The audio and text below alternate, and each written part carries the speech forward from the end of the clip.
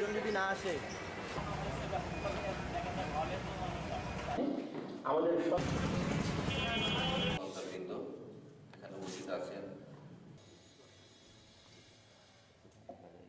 মুক্তিযুদ্ধ ভিত্তিক ছবিগুলি দেখে সামাজিক ছবিগুলি দেখে আমরা যে আমরা আমরা তো আর আসেন না